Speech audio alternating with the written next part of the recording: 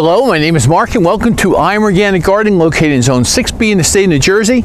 And today we're taking a field trip to see some winter rye that's on my farm in the corner of my farm. It's doing extremely well. Uh, it's about 40 degrees right now. Today is Friday, May 14th, 2021. And I planted this last, let me think, beginning of September of last year I planted this up and it has really taken off. We've had a cool, wet spring. Winter rye loves it. All those roots are going down deep into the soil, and this beautiful field here is doing amazing. There's a couple things growing in there like dock, so let's take a closer look at that. So here we have a nice healthy sample of dock growing in my winter rye. Am I worried about it? Absolutely not. And it's gonna go to seed soon. Dock is like a daikon radish. It's getting down there, breaking up that hard pan clay soil and allowing the other roots of the winter rye to go down even deeper because it's going to trace next to that. Now, when I come in here and cut this winter rye down in probably another month, month and a half, I'm not decided how long it's going to be. The seeds heads are forming already right now, so it might be in a month, it might be a month and a half, all depends on the weather.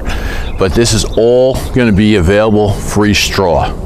Here we have a beautiful bird species sitting there, and that's on top of some dock also, on the, also on the corner of my farm here, and they love those seeds. And now I'm talking too loud, so it flew away.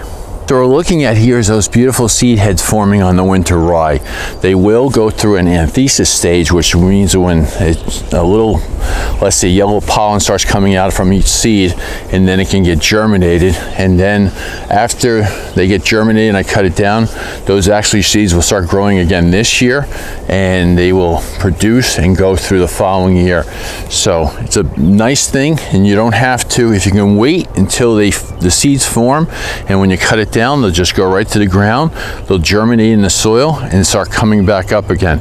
And then they'll just give you a kind of a nice little green grass. It won't grow too tall, uh, less than say, um, I don't know, about eight inches probably through the whole summer. And then in the fall, we'll get a little bit taller and then stay green all winter. I just want to give you a nice overview of the whole field of winter rye like I said, I'm so proud of this. It's doing extremely well. Lots of free hay. I don't know what I'm going to be planting into this yet, like I mentioned before. It all depends on how the economy is going. Right now, we're having a gasoline crisis because of the pipeline that's shut down and everybody's hoarding gasoline, but that's going to change in the future, hopefully, and get back to normal. Thank goodness my tractor is diesel. There's plenty of diesel around, but things are going well. I moved over to another field and this is winter rye also too. I planted this later. This is probably planted around the end of October. And we can see here I have leaves in front of me that's pretty wide, at least like 10 feet wide. Full leaves I got delivered from the township last year. And like I said, it's about 10 feet wide and about maybe uh, 8 to 10 inches tall. And also on the other side I have leaves also too. My plan is and I have never done this before, is to grow a living root in the ground over winter, and then the leaves I can bring closer and kill this off after I cut it down maybe.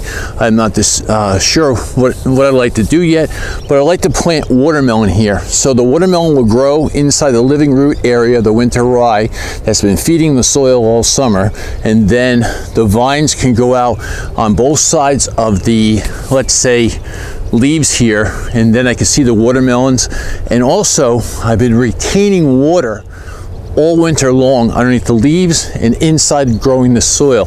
So it's also a huge benefit to try it this way.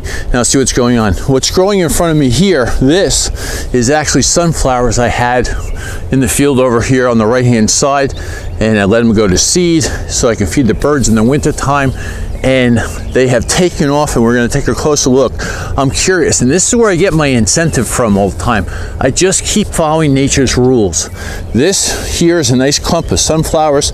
They're healthy, they're green. Oh, I want to ask you this question and I'm always uh, let's let's play call uh, Garden Jeopardy. The question for 500 for uh, lots of money, I can't send it to you, but what kind of nitrogen is available nitrogen in our soil. There's only one type. There's actually four, I think three or four different types of nitrogen. But what's the nitrogen that's available to the plant? What's it called? And if you know the symbol, great. Please leave in the comments below because that's what we're going to be talking about in the future. There's only one available nitrogen that plants need and and that soil food webs, the microbes, delivers it to our plants. And like I says, they are green and healthy.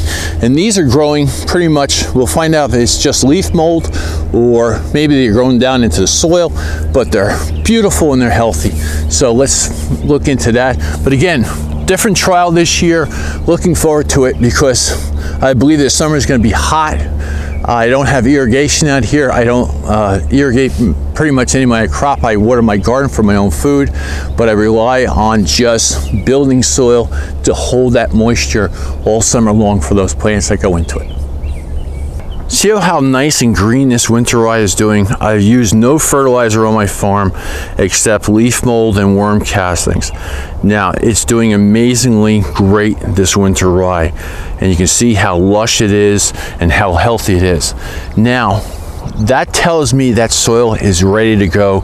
If I want to plant cantaloupes there, watermelon, anything in there, or a butternut squash or spaghetti squash, anything that's a vine that's going to, let's say, trellis out from that area. Now, this was planted later. I'm going to show you a row that I planted earlier in the same kind of situation in the same field, and that's what is going to tell me something different. Just moved over, let's say 50 feet. There's a couple other rows here, but I want to show you this row. And this is your, let's say a soil test that you do by just growing winter rye. Now you saw that lush part over here and now you can see there's something totally different. So this area is not as good and as healthy as the other one I was showing you. And you can tell by, let's say all this light green color here, shorter in the middle, a little bit better on the sides because maybe the leaves are leaching some nitrogen into that, but this is not as healthy. Now, can I still plant here? Of course I can.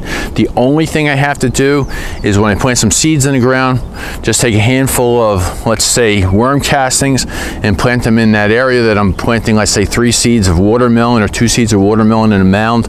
And after I cut this down, and it's all gonna be fine.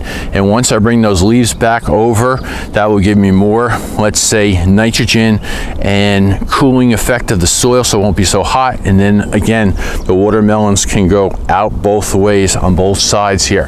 Now I'm going to grow seedless watermelons and in seedless watermelons you have to plant the seedless type but also you have to plant the pollinator next to it. The pollinator will pollinate the seedless watermelons but the, the, the variety will not produce seeds and it's not say not going to produce seeds it's not going to produce a lot of seeds.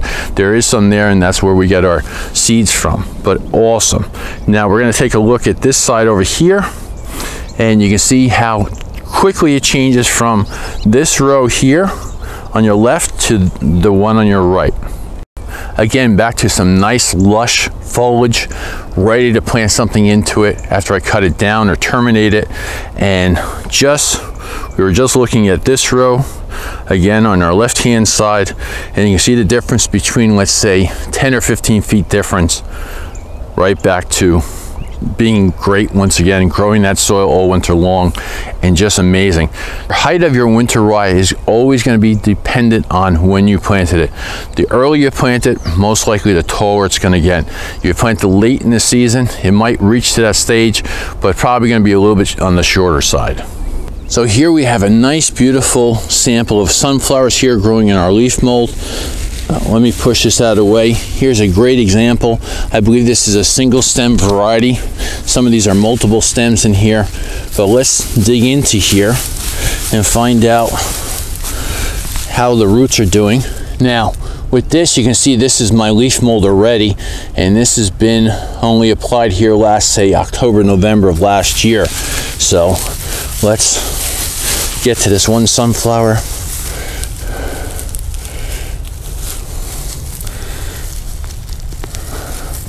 Now, it's not, it's growing in a little bit in the leaf mold and it's probably gone down a little bit further. And that is, that's it. Just a simple little root system, but growing extremely well. That tiny little root system probably went down a little bit further. and I broke off a lot of roots.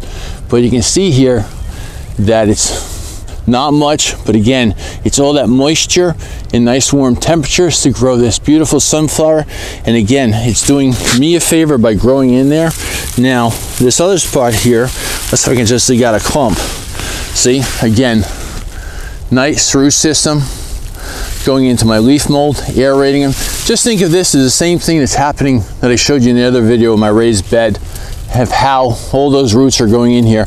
I'm gonna let these grow on their own and these are going to die off but it's going to give me some green material to my browns. And again these sunflowers are feeding the microbes in the leaf mold because it's sending down that carbon dioxide out of the atmosphere, making it into exudates and moving them down further here.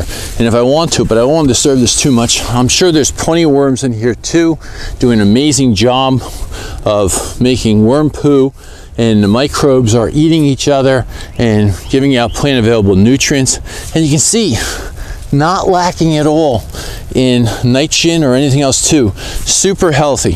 So we'll do that. Maybe what I might do also too is leave that winter rye to grow and what I should try to do early, and I will do an experiment, I want to plant directly into leaf mold um, some watermelon, and then all those roots can go out just like this and pick up all that moisture over the summertime.